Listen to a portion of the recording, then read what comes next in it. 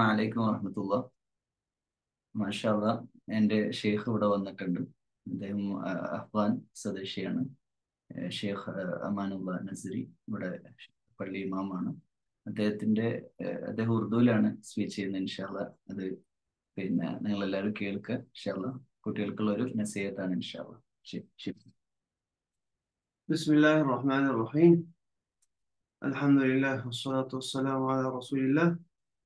وعلى آله وصحبه ومن والاه. أما بعد آه محترم ساتيو السلام عليكم ورحمة الله وبركاته.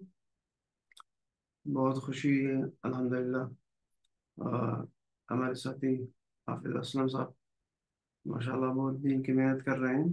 اللہ تعالیٰ ان کی محنت کو قبول فرمائے. اس دور میں جو ہر آدمی دنیا کے پیچھے لگا ہوا ہے دنیا کی محنت میں ہر کوئی دنیا کماتا تو ہے ہی ہے، لیکن یہ کہ مختلف طریقوں سے۔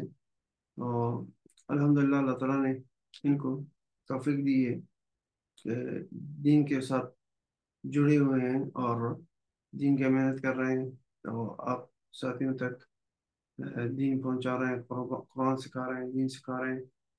اور یہ ان کی بھی خوش قسمتی ہے اور آپ حضرات کی بھی خوش قسمتی ہے۔ اللہ تعالیٰ نے آپ کو اس طرح کے محنتی استاد اخلاص کے ساتھ محنت کرتے ہیں آپ حضرات کے ساتھ یہ اور آپ کی بہت ہی خوش قسمتی ہے اور اللہ تعالیٰ مزید ان کو توفیق عطا فرمائے اخلاص کے ساتھ محنت کرنے کی اور آپ حضرات کو بھی اللہ تعالیٰ توفیق عطا فرمائے اخلاص کے ساتھ محنت کرے محنت کرے محبت کے ساتھ قرآن پڑھے اور دنیا تو گزر ہی جائے گی اور زندگی گزرتی ہیں، لیکن یہ کہ اگر زندگی کو دین کے ساتھ وابستہ کیا جائے، اس سے دین میں زندگی میں رونق آ جاتی ہے دنیا اور آخرت کے اس میں بہتری ہوتی ہے کہ آدمی دنیا کے ساتھ ساتھ اپنے دین کو بھی سیدھا کرے، دین کو سمجھے کسی چیز کو عمل کرنے سے پہلے سمجھنا ضروری ہے۔ جب آدمی چیز کو سمجھتا ہے، تو اس کے بعد اس کے لیے عمل کرنا آسان ہو جاتا ہے۔ تو جب ہم قرآن کو صحیح سیکھیں گے، تو جس طرح اللہ تعالیٰ نے اتارا ہے اور رسول اللہ صلی اللہ علیہ وسلم نے قرآن کو پڑھ کے سنایا ہے، تو اسی طرح پڑھتے پڑھاتے ہم تک پہنچ چکا ہے۔ تو اس حساب سے ہم قرآن پڑھیں گے انشاءاللہ ہماری زندگی میں برکت آئے گی۔ کیونکہ ہر عبادت کا تعلق یہ قرآن سے ہے۔ اگر قرآن درست ہے اس کی ادائیگی صحیح ہے تو انشاءاللہ آہ، وہ نماز کا طریقہ بھی صحیح ہوگا۔ اور وہ اللہ تعالیٰ کے ہاں قبول بھی ہو جائے گا۔ جس طرح اتارا گیا ہے اس حساب سے قرآن پڑھا جائے۔ تو یہ آپ حضرات کی بھی خوش قسمتی ہے، اللہ تعالیٰ نے آپ حضرات کے اوپر رحم فرمایا ہے، آپ کو توفیق دی ہے کہ دین کے بارے سوچیں اور دین کو حاصل کرنے کے لیے محنت کریں۔ تو یہ اللہ تعالیٰ کا فضل ہے۔ تو جس انسان پر اللہ کا فضل ہو، وہی نیکی کی طرف آ سکتا ہے۔ اگر اللہ تعالیٰ کی رحمت کسی کی طرف متوجہ نہ ہو، تو آدمی نیکی کی طرف نہیں آ سکتا۔ اور الحمدللہ بہت ساتھی میں تو پوچھتا رہتا ہوں ان سے۔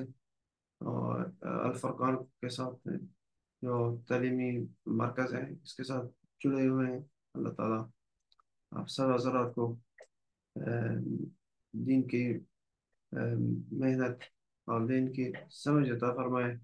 اور سب کو اخلاص کے ساتھ، محبت کے ساتھ قرآن پڑھنے کی اور سمجھنے کی عطا توفیق عطا فرمائے تاکہ دنیا اور آخرت دونوں میں اللہ تعالیٰ کامیابیاں نصیب فرمائے اور اللہ تعالیٰ ہم سب کو دین کے سمجھ اور عمل کرنے کی توفیق عطا فرمائے اور ہم سب سے اللہ تعالیٰ راضی ہوں اور آپ حضرات کو، آپ حضرات سے گزارش ہے۔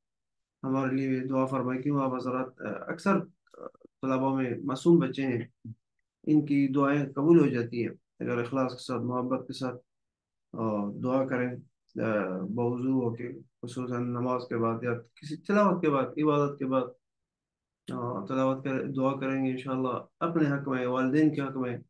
اور باقی جو حضرات مریض ہیں، بیمار ہیں، ان کے لیے جو محتاج ہیں، ان کے لیے سب مسلمانوں کے لیے